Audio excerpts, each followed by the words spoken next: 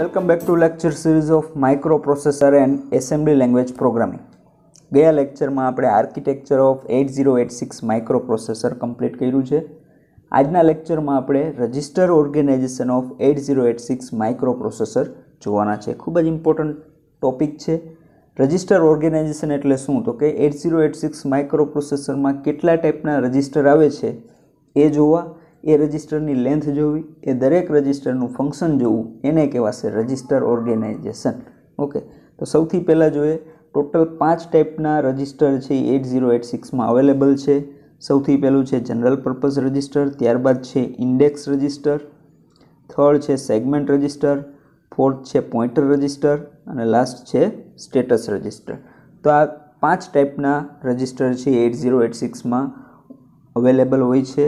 એમાંથી દરેક જે રજિસ્ટર છે એને આપણે ડીપમાં જોવાના છીએ. તો સૌથી પહેલાં જોઈએ જનરલ પર્પઝ રજિસ્ટર.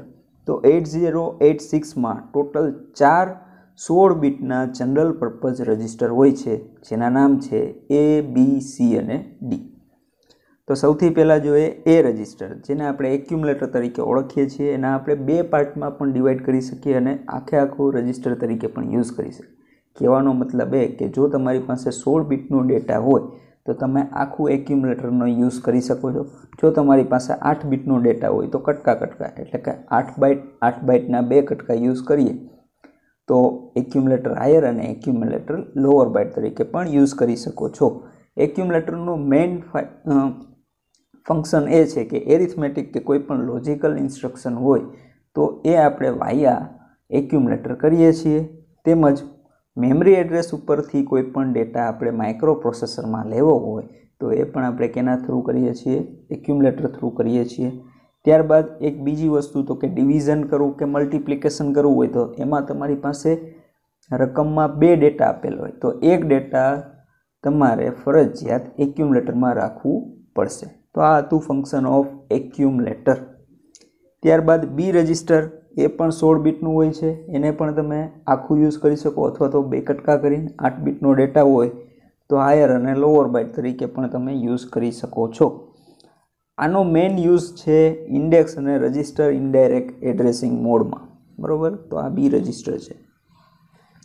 ત્યારબાદ છે સી સી રજિસ્ટર. સી રજિસ્ટરને તમે કાઉન્ટર તરીકે યુઝ કરી શકો. તો કાઉન્ટર ક્યારે યુઝ થાય છે? તો કે જ્યારે આપણે પ્રોગ્રામિંગમાં લૂપ ઇન્સ્ટ્રક્શન આવે, તો એ લૂપ ઇન્સ્ટ્રક્શનમાં આપણે કાઉન્ટર સેટ કરવું પડે અને કાઉન્ટર માટે સ્પેશિયલી આપણે સી રજિસ્ટરનો યુઝ કરીએ છીએ. તો આ એક મેઇન ફંક્શન છે સી રજિસ્ટરનું. ત્યારબાદ ડી રજિસ્ટર, તો ડી રજિસ્ટર છે એ પણ જનરલ પર્પઝ રજિસ્ટર છે અને એ મેઇનલી ઇમ્પ્લિસિટ ઓપરાન્ડ અથવા તો ડેસ્ટિનેશન ઇન્સ્ટ્રક્શન માટે યુઝ કરીએ છીએ. જનરલી આપણે આઈઓ ઓપરેશન જે પરફોર્મ થતા હોય તો આઈઓ પોર્ટમાંથી જે પોર્ટ નંબર લેતા હોય, એ આપણે ડી રજિસ્ટર થ્રુ લઈએ છીએ. તો ખાસ તમારે એક્યુમલેટરનું ફંક્શન ખાસ યાદ રાખવાનું છે અને ચાર જનરલ પર્પઝ રજિસ્ટર હોય છે એટ ઝીરો એટ સિક્સમાં એ તમારે યાદ રાખવાનું છે. એના ચારે ચારના નામ આવડવા જોઈએ એ બી સી અને ડી ત્યારબાદ જોઈએ ઇન્ડેક્સ રજિસ્ટર તો ઇન્ડેક્સ રજિસ્ટરમાં સૌથી પહેલાં આવશે સોર્સ ઇન્ડેક્સ તો સોર્સ ઇન્ડેક્સ છે એ સોળ બીટનું રજિસ્ટર હોય છે. એ શું ડેટા સ્ટોર કરે છે? તો કે it stores the offset of source data in data segment. હવે ડેટા સેગમેન્ટ આપણે જોઈ ગયા છીએ. ડેટા સેગમેન્ટમાં જે સોર્સ ડેટા હોય, એ સોર્સ ડેટાનું મેમરી એડ્રેસ કોણ સ્ટોર કરશે? Source index register. ઓકે. તો મેમરી લોકેશન છે જે ડેટા સેગમેન્ટ, જે ડેટા પર્ટિક્યુલર મેમરી એડ્રેસ ઉપર સ્ટોર થયેલા છે એ મેમરી એડ્રેસ કોણ હોલ્ડ કરશે? સોર્સ ઇન્ડેક્સ રજિસ્ટર ત્યારબાદ છે ડેસ્ટિનેશન ઇન્ડેક્સ રજિસ્ટર તો ડેસ્ટિનેશન ઇન્ડેક્સ રજિસ્ટર પણ સોળ બીટનું રજિસ્ટર છે અને એનું ફંક્શન પણ એસઆઈ રજિસ્ટર જેવું જ છે. પરંતુ ડિફરન્સ શું છે? તો કે એસઆઈ એટલે કે સોર્સ ઇન્ડેક્સ છે, એ રજિસ્ટર ઓનલી ડેટા સેગમેન્ટ માટે યુઝ થાય છે.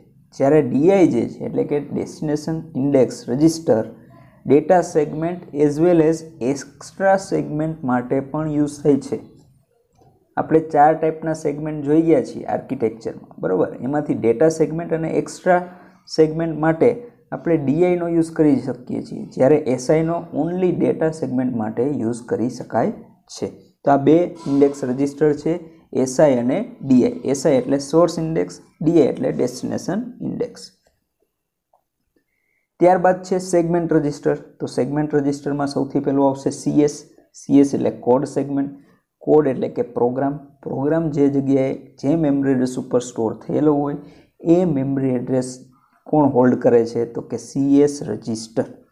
બસ, એટલી જ વસ્તુ છે. સિમ્પલ વસ્તુ તમારે યાદ રાખવાની થશે. ત્યારબાદ સ્ટેક સેગમેન્ટ. તો સ્ટેક સેગમેન્ટ પણ સોળ બીટનું રજિસ્ટર હોય છે. એમાં જે સ્ટેકમાં એટલે કે સ્ટેક જે જગ્યાએ સ્ટેક એટલે બંચ ઓફ ડેટા આ બંચ ઓફ ડેટા જ્યાં પણ સ્ટોર થયેલા હોય, એ મેમરી એડ્રેસ છે એ કોણ સ્ટોર કરાવે છે? સ્ટેક સેગમેન્ટ ઓકે ત્યારબાદ છે ડેટા સેગમેન્ટ તો ડેટા સેગમેન્ટ પણ સોળ બીટનું રજિસ્ટર છે. એમાં ડેટા કઈ જગ્યાએ? ડેટા કયા મેમરી એડ્રેસ ઉપર સ્ટોર થયેલું છે? એ સેગમેન્ટનું મેમરી એડ્રેસ કોણ હોલ્ડ કરશે? ડેટા સેગમેન્ટ અને લાસ્ટ છે એક્સ્ટ્રા સેગમેન્ટ એટલે કે સ્ટેક આવી ગયું કોડ આવી ગયું ડેટા આવી ગયું. આના સિવાયનો કોઈ ડેટા હોય, જેને આપણે એક્સ્ટ્રા ડેટા તરીકે ઓળખીએ છીએ, આ એક્સ્ટ્રા ડેટા જે મેમરી ઉપર સ્ટોર થયેલું હોય, એ મેમરી કોણ હોલ્ડ કરે છે? તો કે એક્સ્ટ્રા સેગમેન્ટ રજિસ્ટર તો આ ચારે ચાર છે, એ સેગમેન્ટ રજિસ્ટર છે સીએસ એસએસ ડીએસ અને ઈએસ ઓકે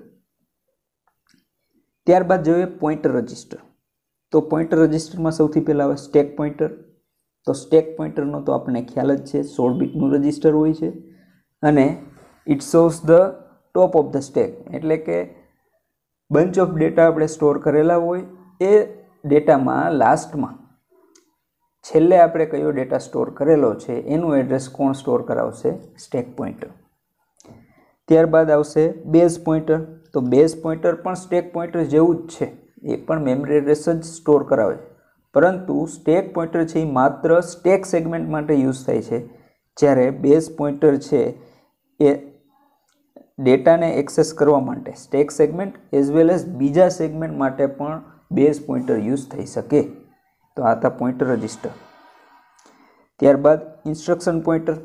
તો ઇન્સ્ટ્રક્શન પોઇન્ટર એટલે શું? તો કે નેક્સ્ટ ઇન્સ્ટ્રક્શન કઈ પ્રોગ્રામ કાઉન્ટર જેવું કામકાજ કરે છે. ઇન્સ્ટ્રક્શન પોઈન્ટર છે કેના જેવું કામકાજ કરે છે? તો કે એટ ઝીરો એટ ફાઇવમાં જે પ્રોગ્રામ કાઉન્ટર આવ્યું હતું, સેમ ફંક્શન એ આઈપીનું એટ ઝીરો એટ સિક્સમાં છે.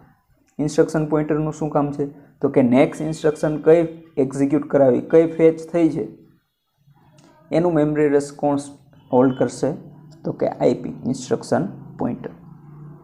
તો આ ત્રણ હતા pointer register. Stack pointer, base pointer અને ઇન્સ્ટ્રક્શન પોઇન્ટર હવે જોઈએ સ્ટેટસ રજિસ્ટર. તો સ્ટેટસ રજિસ્ટરમાં અગાઉના લેક્ચરમાં આપણે ફ્લેગ જોઈ ગયા છીએ. પેરિટી ફ્લેગ જોયા, auxiliary carry flag carry flag જોઈ ગયા, સાઇન ફ્લેગ જોઈ ગયા, ઝીરો ફ્લેગ જોઈ ગયા. પરંતુ ત્રણ જે ફ્લેગ છે, બરાબર? છ ફ્લેગ તો ઓલરેડી આપણે જોઈ ગયા છીએ. બીજી ત્રણ ફ્લેગ છે, એ આપણે ખાસ જોવાની છે. એક છે ટ્રેપ ફ્લેગ બરાબર? જો આ ફ્લેગ સેટ હોય, તો શું થશે? The processor enters the single step execution mode બરાબર? બે ટાઈપના મોડ હોય. સિંગલ સ્ટેપ અને ડબલ સ્ટેપ એમાંથી જો ટ્રેપ ફ્લેગ વન હોય, તો સમજી જવાનું. તો શું થઈ જશે? પ્રોસેસર છે, એ સિંગલ સ્ટેપ મોડમાં એક્ઝિક્યુટ કરવાનું ચાલુ કરશે. બરાબર? તો આ મેઇન ફંક્શન છે ટ્રેપ ફ્લેગનું ટ્રેપ ફ્લેગ છે મેઇનલી શેના માટે યુઝ થાય છે? તો કે મોડ ઓફ પ્રોસેસર છે એ જાણવા માટે. મોડ ઓફ પ્રોસેસર ચેન્જ કરવા માટે. જો ટ્રેપ ફ્લેગ ઝીરો હોય, તો એ ટુ સ્ટેપ એક્ઝિક્યુશન મોડ પણ યુઝ કરે છે.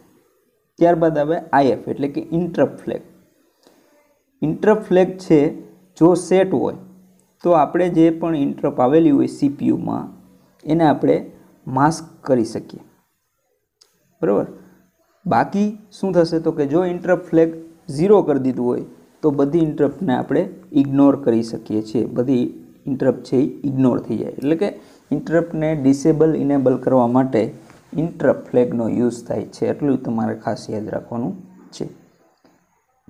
ત્યારબાદ આવે ડાયરેક્શન ફ્લેગ તો કેના માટે યુઝ થાય છે? This is used by string manipulation instruction string manipulation instruction આવે છે એટ ઝીરો એટ સિક્સમાં, એના માટે કોણ યુઝ થાય છે? DF DF flag. એટલે કે ડાયરેક્શન ફ્લેગ.